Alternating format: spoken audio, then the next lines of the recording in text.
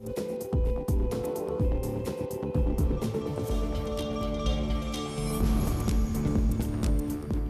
Bonsoir et bienvenue pour deux heures d'infos sur TV7, un film pour casser les idées reçues sur les personnes sans domicile. C'est l'initiative de La Cloche, une association bordelaise qui publie depuis hier sur les réseaux sociaux un court métrage assez parlant. L'idée est simple, des sans domicile fixe passent un casting pour un film. Problème, ils ne correspondent pas à l'idée que la réalisatrice, en tout cas, se fait justement des sans euh, domicile fixe. Nous en parlerons avec nos invités tout tout à l'heure. Jeudi, vous le savez aussi, c'est le jour de Sotalk, le rendez-vous de la rédaction de Sud-Ouest qui invite cette semaine Fabien Robert, le président du Modem Gironde, évoque notamment la politique gouvernementale soutenue par un Modem qui a malgré tout, vous le verrez, son mot à dire. Jeudi, c'est aussi Europe. Vous découvrirez notamment comment vin et whisky peuvent se marier grâce à l'Europe. Tout de suite, les principaux titres de votre journal.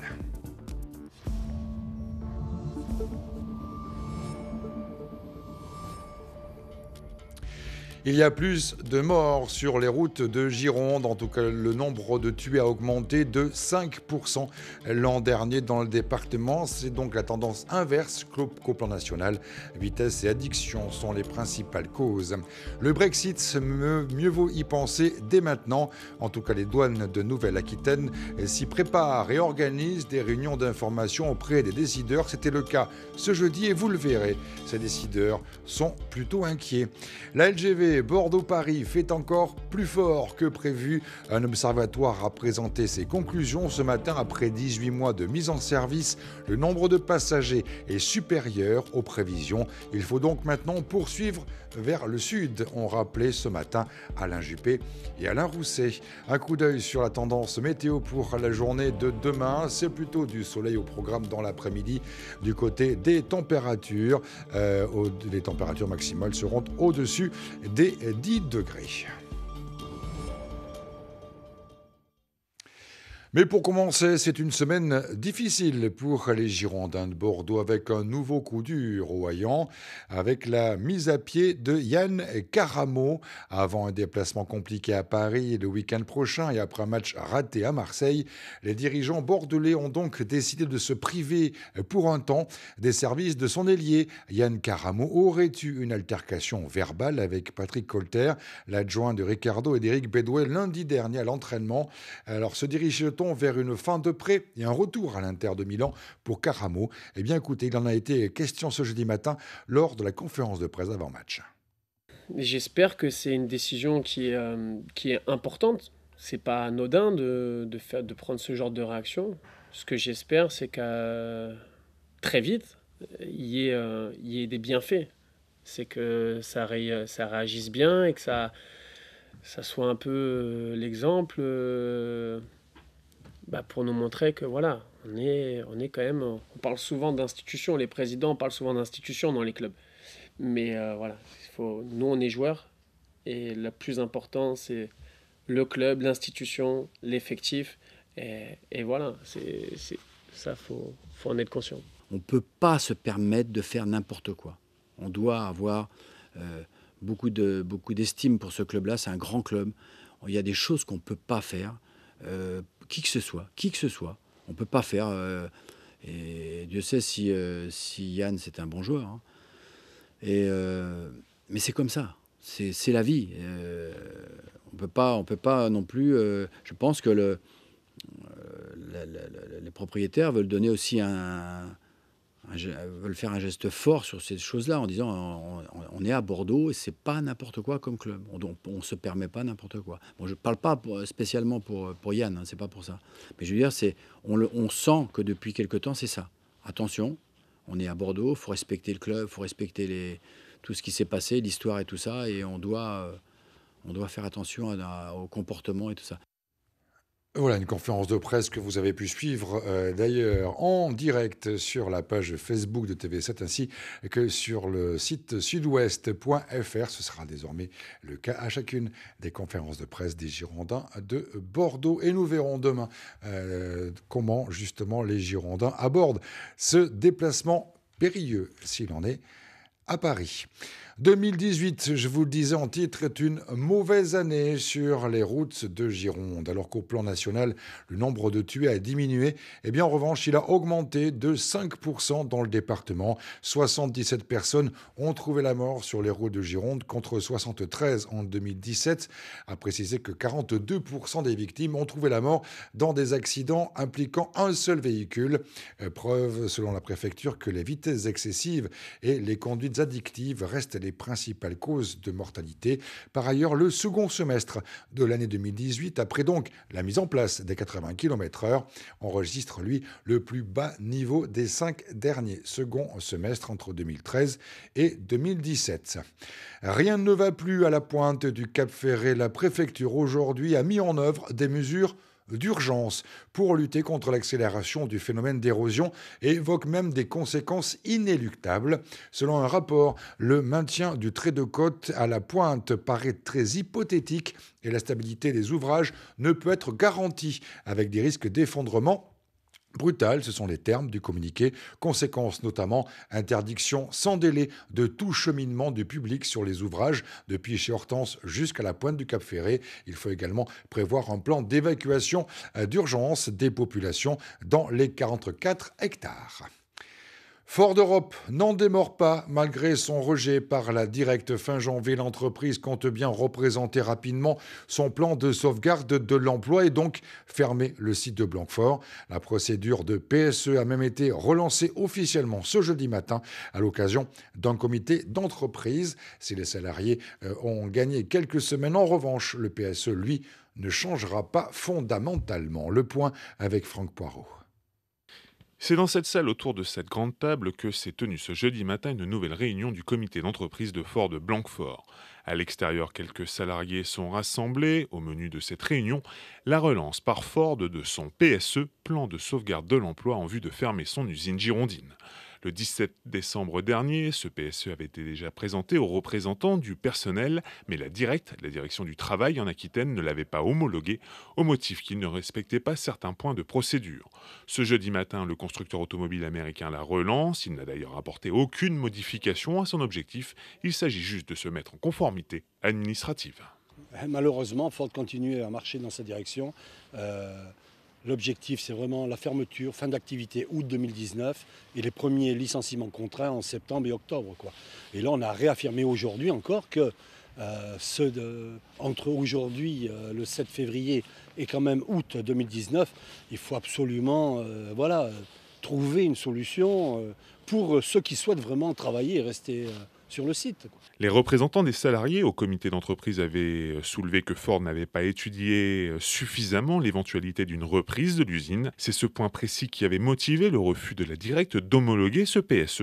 En relançant la procédure, Ford remet les compteurs à zéro sur le plan administratif. Pour les salariés, c'est autant de temps de gagner pour essayer de sortir de l'impasse de la fermeture. Le groupe Punch s'était positionné pour reprendre l'usine, mais son offre avait été conduite par Ford au motif qu'elle ne ferait pas assez de garanties. Mais euh, la responsabilité en revient notamment à Ford, qui n'a rien fait pour, pour coopérer, pour discuter de comment faire, de comment euh, assurer une transition, comment euh, faire en sorte que justement il y ait une reprise puisse fonctionner. Et donc tout a été fait pour faire le, enfin, faire rater le projet.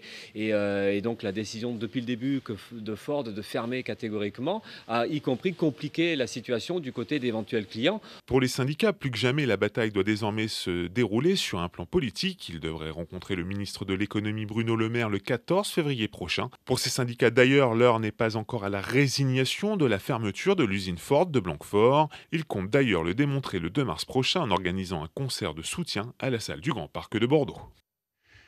Accord ou pas, le Brexit, c'est pour le 30 mars. Logiquement, en tout cas, une perspective qui interroge et qui inquiète aussi les entreprises, notamment en Nouvelle-Aquitaine. Et eh bien justement, pour répondre à ces préoccupations et les aider aussi à s'y préparer, la direction interrégionale des douanes ainsi que la Chambre de commerce organisent jusqu'à mi-mars toute une série de réunions d'information dans toute la région Nouvelle-Aquitaine. Et eh bien, 200 personnes ont assisté à celle qui était organisée aujourd'hui à Bordeaux et à laquelle a pu assister Dominique Parmentier. Toutes les entreprises qui exportent sont concernées par le Brexit, mais en particulier les entreprises agroalimentaires majoritaires dans la région, avec un secteur des vins et spiritueux prédominant. Et elles étaient nombreuses ce jeudi à s'inquiéter des conséquences probables de cette sortie de l'Union du Royaume-Uni sur leur activité. Le Royaume-Uni, c'est une grosse part de notre exportation, enfin de, nos ventes, et donc euh, voilà, on craint quand même que ce soit... Euh, là, en 2018, c'est 23% de nos exportations. Inquiétude et interrogation également pour la centaine d'entreprises de taille intermédiaire du club néo-aquitain et leurs 52 000 salariés. Que ce soit dans l'aéronautique, la chimie ou les services, la plupart de ces sociétés travaillent aussi avec la Grande-Bretagne. Donc il y a beaucoup de problématiques qui se posent en termes à la fois de douane, de délai de livraison, euh, de réglementation, d'autorisation sur le mise sur le marché. Et ce problème de Brexit est, vraiment grave parce que pour l'instant, on se dirige vers un Brexit hard mais il faut savoir que beaucoup d'informations ne sont pas disponibles. Et les informations vont peut-être tomber donc le, 29 mars et on sera vraiment dans le flou. Donc c'est vraiment très très inquiétant. En attendant, les services de l'État et des douanes en particulier s'efforcent de les rassurer et surtout de les aider à se préparer à cette échéance. Demain, euh, le Royaume-Uni devient l'équivalent d'un pays tiers. Donc à partir du moment où le Royaume-Uni est l'équivalent de la Chine, il faut pouvoir se dire que demain, ce qui se faisait de manière très simple, c'est-à-dire la liberté de circulation euh, des marchandises entre nos différents pays, l'Union européenne et le Royaume-Uni, demain, ça va se complexifier. Ça va nécessiter euh, de, prendre, euh, mettre en place un certain nombre de processus et notamment d'intégrer tout ce qui concerne les formalités douanières. On peut voir aussi euh, de formidables opportunités.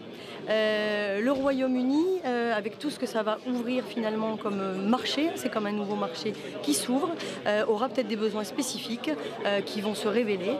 Bref, le Brexit pourrait être une chance pour les entreprises si elles savent la saisir. Pas sûr qu'elles aient vraiment le choix.